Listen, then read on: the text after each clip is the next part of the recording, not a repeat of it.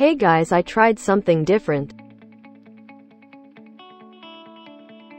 I choose 12B pencil for curving. Shaving off the wood of the pencil.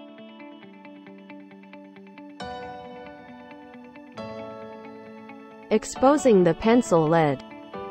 Smooth surface to make.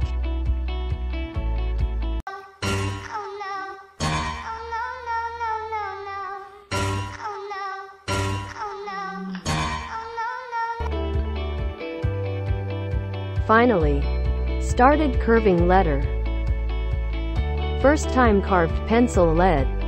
Finally I achieved this. Subscribe for more videos.